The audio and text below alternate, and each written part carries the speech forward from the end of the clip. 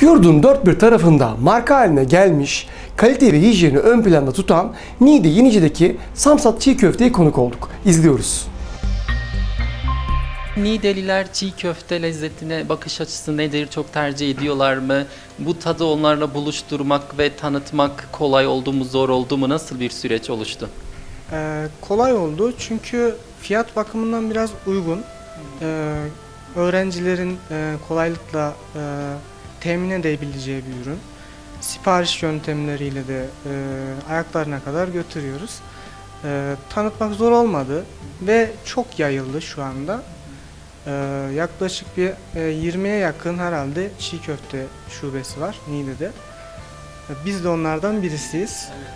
Dikkatimi öğrenciler dediniz. Ee, Biz de tam öğrencilerin teneffüs saatine denk geldi buraya gelişimiz. İnanılmaz bir yoğunluk vardı.